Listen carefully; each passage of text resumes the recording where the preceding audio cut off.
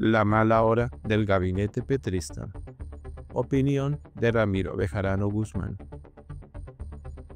Atrás quedaron los días en los que a gritos Petro desafiaba a sus asustadizos ministros advirtiéndoles que quien no estuviera de acuerdo debía irse. Entonces nadie discrepó ni se fue por su propia voluntad. Hoy las cosas son diferentes porque varios ministros y funcionarios del ala izquierdista dieron el golpe blando, pero mataron el tigre y se asustaron con el cuero. Armando Benedetti decidió no esconder más sus adicciones al alcohol, a la cocaína y sus terapias ojalá para librarse de esa pesadilla infernal de su vida y la de los suyos. Dudo que esté del todo recuperado, pero por algo se empieza. Espero que logre superar para siempre esa tentación que le cambió el rumbo a él y al gobierno. Pero se equivoca Benedetti si cree que puede lavar sus imborrables faltas, familiares y públicas, amparado en el lastimero e improvisado arrepentimiento con el que regresa al gobierno que deshonró antes de irse, y también ahora. Las acusaciones por maltrato físico y verbal a su pareja y a Laura Sarabia puede que las olviden ellas, por necesidad o miedo, pero los colombianos de estos tiempos no están dispuestos a tolerar la violencia de género en la antesala de un Consejo de Ministros, varios del entorno íntimo del presidente tuvieron un instante de dignidad cuando le exigieron hablar previamente a que se iniciara la cumbre ministerial. Los ministros letecheros estaban inconformes no con el regreso del rehabilitado Benedetti, sino con que el ex embajador se les convirtiera en peaje para acceder al presidente y prácticamente en jefe. Preocupados por ellos, no por el país. Lo que parece un gesto de carácter de unos pocos ministros terminó en una escaramuza babosa.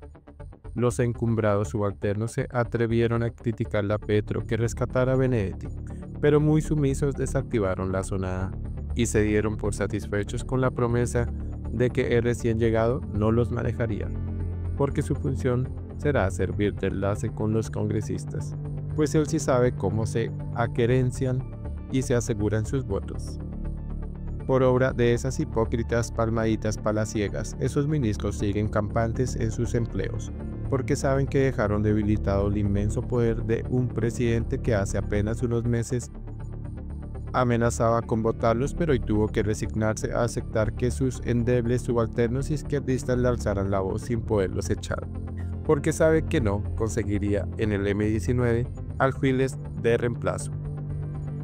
Quedaron muy mal Petro, Sarabia, Benedetti, la vicepresidente, los ministros y funcionarios que amagaron con su levarse, pues tendrá que seguir viviendo con la mutua desconfianza que tiene que haber surgido entre todos ellos, y con esa aprentosa foto del nuevo trío estelar en el que aparecen sentados en la oficina presidencial haciendo las paces y fortaleciendo el compromiso, omerta de no sacarse nunca más los trapos al sol. Cada uno de ellos sabe que ese pacto es frágil y que un buen día explorará en añicos.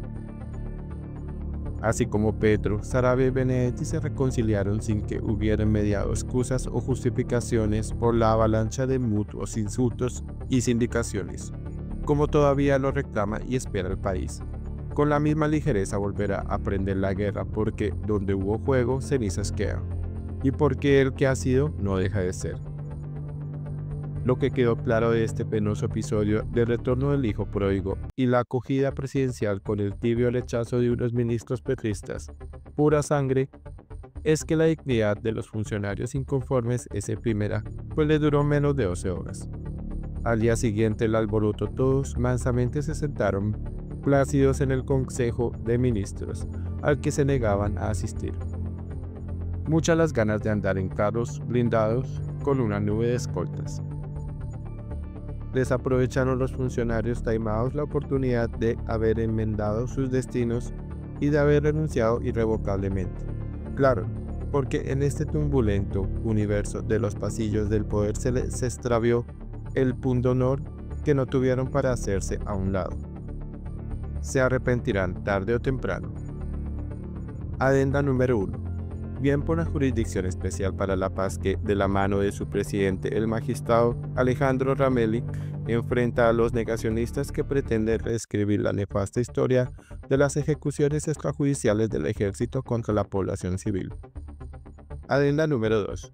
Costoso cuarto seguro se mandó a construir en el búnker de la Fiscalía el inseguro y abusivo exfiscal Francisco Arbós. La Contraloría Queira